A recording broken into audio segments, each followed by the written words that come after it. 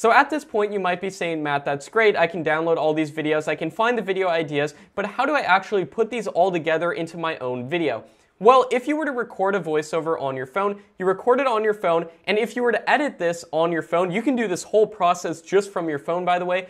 And if you were to do this all just from your phone, I recommend an app called PowerDirector that's available for both Android and iOS devices that you can then edit your videos on. Now, what about if you wanted to do this from a computer? And I do recommend doing this from a computer if you can, because it does make your life a lot easier. And if you were to do this from a computer, then you could transfer your audio files from your phone to the computer and then edit on the computer. And you might be saying, Matt, I don't have an editing program. How am I going to edit my videos together without spending hundreds of dollars on some editing software? Well, you can use a completely free editor called OpenShot. And if you go to openshot.org, you can download this editor. And another alternative to recording voiceovers on your phone is to buy a cheap USB mic like the Blue Yeti Nano. And then you can use a completely free software called Audacity to record your voiceovers in, and then do all of your editing in this completely free video editor called OpenShot.